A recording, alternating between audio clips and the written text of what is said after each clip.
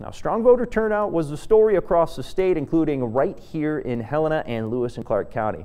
When the polls closed this evening, around 40 people were still in line waiting to vote at the Lewis and Clark County Elections Office. Both Helena and East Helena election judges say they saw a good turnout at the polls today. The volunteers judging the election said they were surprised to see as many people, given the amount of absentee votes that were already turned in for their precincts. The elections office said they even had what might be a first for them three Helena sisters, triplets, and a Helena High School senior registering and voting in their first election. And Montana Secretary of State Corey Stapleton believes today's election will be one of the largest voter turnouts for a midterm election for the state.